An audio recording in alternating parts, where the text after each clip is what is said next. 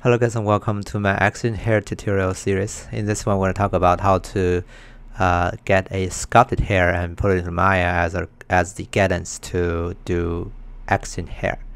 Okay, uh, if you look at this hair sculpt, you can see it's not very detailed first, right? Um, but also it has this really uh, unique layout. It is not just one model, it's actually multiple separated polygroups. As you can see here, you can hide those smaller pieces. Okay, and the reason I'm doing this here is because hair are growing from different part of the skull or the the head, right? So uh, they are not all rooted from this middle line and just go down. For example, this blue part, you can see they're growing from those areas. Okay, so it's easier to have those layouts in there for you to be able to kind of like tell the hair uh, to create hair guides for XGen uh, you can see the same thing here. Like this is the outer layer right? But if you uh, had it you can see there's one more layer inside another layer right? Another layer. So there are multiple layers basically for the hair so that I can have guides not on the outer surface but also the inner surface of the hair right so first thing to do before you get this thing out is of course have a simpler model. This is that much polygon. It's probably too much for Maya to handle. So I'm gonna go for Z plugin and then decimation master. I'm gonna go for 75k. This way ZBrush will decimate it to exactly 75k point points and that will be small enough for Maya to handle. Alright, and then we can go ahead and uh, find the export settings, check out the group, and then export this guy. Okay. And I'm gonna call it hair. Let me copy that directory. Okay. And now I'm um, back to Maya. Okay, and then I can go for file import hair. Okay, now I don't know why my model got flipped because uh, I'm pretty sure this is Y up here in Maya and in ZBrush if I show the floor you can also see it is going up. I, I don't know why. ZBrush is never ever good on coordinates coordinates or units. So anyway, I'm gonna then just need to flip uh, negative 180 to get it matched. Okay, I think that happens with the newer version somehow. Okay, another thing I did here is that because I sculpted in ZBrush with like a sphere first, so the head is in the origin, and also the size is too small. So what I did here is I have an animation so I can transfer my model from ZBrush size to a proper human being size. So this is the proper size for a human being and that's the ZBrush size. I need this because uh, ZBrush, even though you can make things bigger and smaller also in ZBrush, first of all, you don't even see the unit. And secondly, when you're making things too big, your brush size cannot get bigger enough and you have to make it not dynamic uh, here, which is a lot of pain to deal with. So I would like to just sculpt in ZBrush in the size it's happy with. In Maya, I have a different animation here that I can go back and forth, right? Anyway, so yeah, I have this thing now. and gonna put it into the all group, which is the group that does have the animation, and I can go back here. Oops, it, it doesn't follow actually. Interesting. Uh, let me try that again. It's in the folder.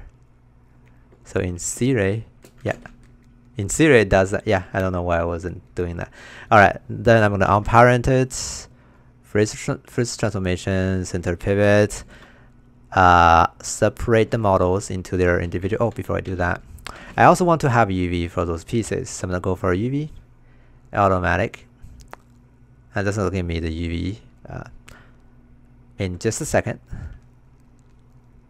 Okay, and we can even check that can see now this is how the UV looks like.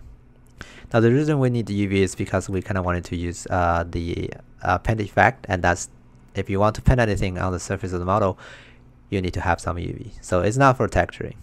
I'm gonna go grab all these and then we can do a separate command now to separate those into their individual pieces and then just to be yeah, to check if everything is fine. And then we can start to use paint effect to draw uh, uh, uh, brush on brush strokes on the hair. Okay, so I'm gonna go grab all these guys, deselect that and control H so we can focus on this piece. With this guy selected, we can go to generate and then make paintable. Okay, and then we can go to generate one more time and paint effect 2. And now we can start to paint on the surface model. Okay, so I'm gonna go start drawing out. Okay, you want to draw from the root to the tip. Okay, and you also want to follow your design here. You can see those strands, right? Try to draw on top of these guys. You don't need a whole lot, but you know you need kind of that much, more or less. Maybe a smaller one down there, I guess. Yeah. Okay, to have all those uh, brush strokes. Okay, and then we can grab all these guys. No, there's more. Okay, and you can convert those guys into poly, paint effect to curves. Right, that's gonna convert those into curves. As you can see now, we have a bunch of curves. Okay, uh, and then you have to get all those curves. They're underneath some weird grouping, right? So it's kind of like really hard to deal with and also you have to rebuild and do everything so that's why I developed this tool like you can find the link down there. I have a Gumroad link if you want to get it. Uh, it's it's not free though. Anyway so um, this code is able to just click on convert paint effect to curve to just convert those guys into curve now and pull them into a small neat group. Okay. They are also rebuilt with 10 uh, CV point. Okay, that's also can you can do that manually also after you convert those guys uh, by doing modify convert effect to curves, right? You can then grab the curves and you go for rebuild, right? To rebuild them uh, with 10, 10 spans. Okay. Uh, and also I think they're having too much wobble, so I'm gonna go for curve and there's a smooth command to make them smoother. Okay. Alright, so we have a first cluster of hair guides that we can use but we need them to be rooted on the geometry. If you take a look at that now, you can see now this is the head, and those are the curves, but they're not really rooted, right? So it would be nice if the first point is on the geometry.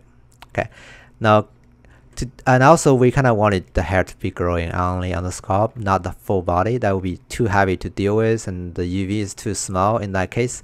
So I'm gonna go to the right view here and go to face mode I'm gonna go grab all the faces that I think I ever need to grow the hair on.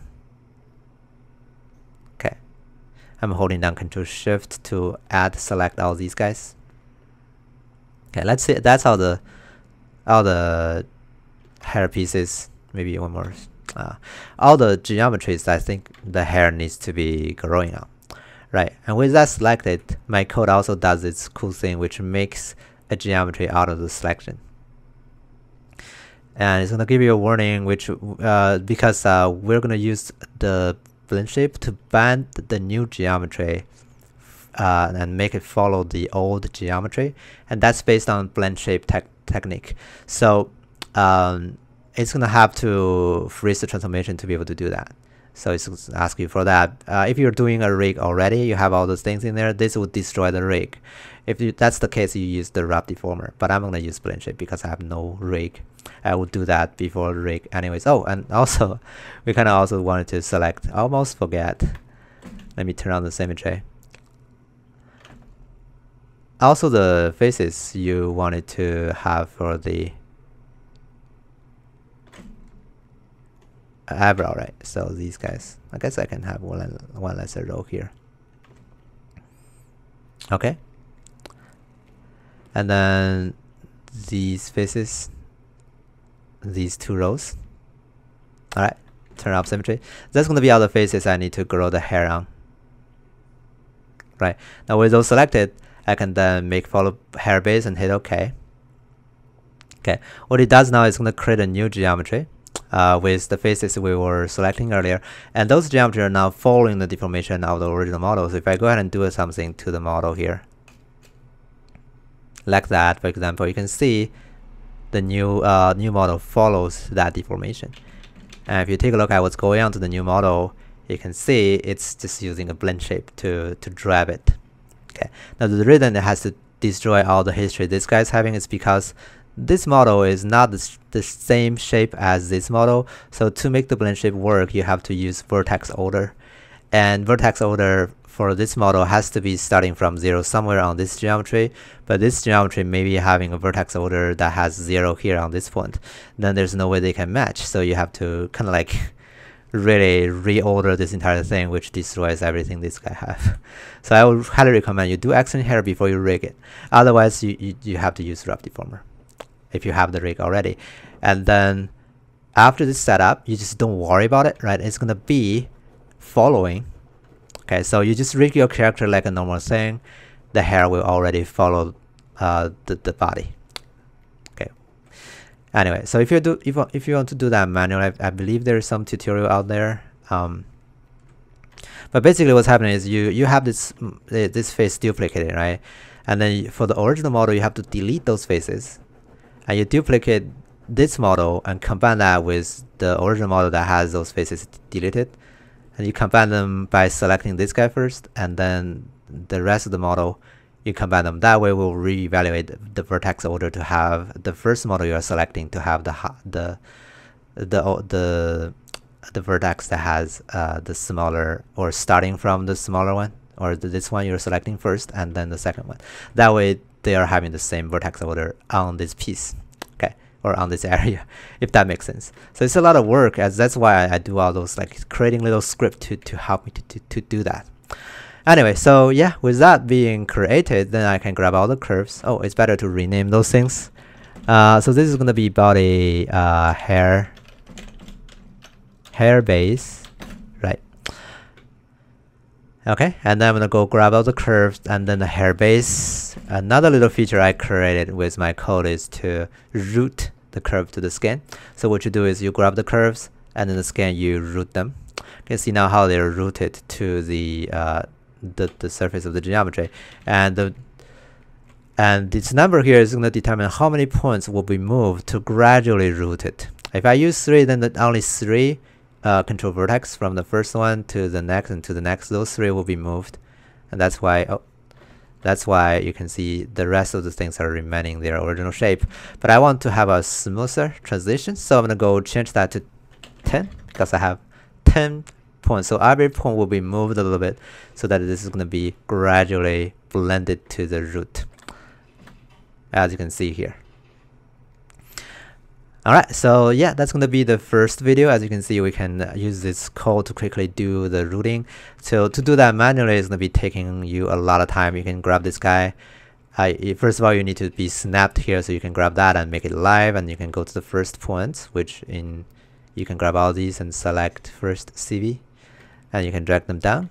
The problem is it's not guaranteed to snap them to a proper place as you can see, which is annoying. Right, so that's why I developed this code. It's just gonna find the closest point on the surface and just move that point there instead of trying to use the snapping tool. And secondly, you just have to manually drag those individual points to make them fall down that way. So yeah, for those two difficulties, or time consuming operations, I developed a little code to do that. Okay, and that's the power of coding, right? You you can automate a lot of process. So I'm gonna grab those curves and that and then root it. Okay, again, you can get this this thing on Gumroad. I have a link down there, but it's not free. Okay. Anyway, so yeah, that's it.